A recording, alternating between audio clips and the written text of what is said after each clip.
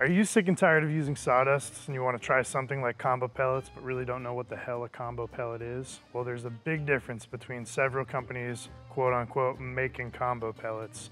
And, you know, maybe we bought some of them, maybe we put them up to a test with our own in this new MycoWizards video about everything combo pellets.